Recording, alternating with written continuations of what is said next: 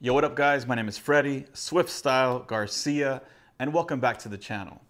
All right, so on today's video, I've got a quick, can't show you that, but a quick unboxing from the homie Nerviswrek. Now, before I tell you what this is, I'm just gonna go ahead and unbox it because I haven't seen it yet and I'm pretty excited to check it out. Let's start with some of the paperwork. Oh, dope. We got some slap tags. Really sick scratch break piece. Scratch break. Damn, he just hit it up for me. Sick. I'm just gonna put these to the side and I'll take some photos or something. Let's get into the box though. Check this out.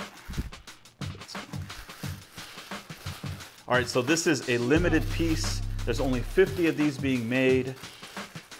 And most of you cutters, ah, another bag, should know what this is as soon as you see it. Little, looks like a hand right there. Carefully. Take this out. Yeah, check that out.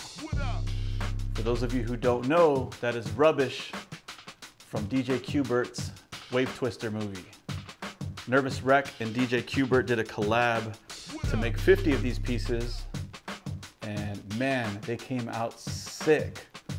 Now, I'm not sure if these are still available, but if so, I will leave a link down below where you can get a hold of Nerviswrek.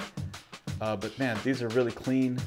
Uh, these are 3.7 inches tall, hand casted out of high quality resin and hand painted here in the US. Very dope. And here's his fist. Bam. That's sick. Shout out to Nerviswrek and DJ Qbert for collaborating on this piece. Uh, I've definitely been a huge fan of wave twisters for a long time, so this piece will have its home here at HQ.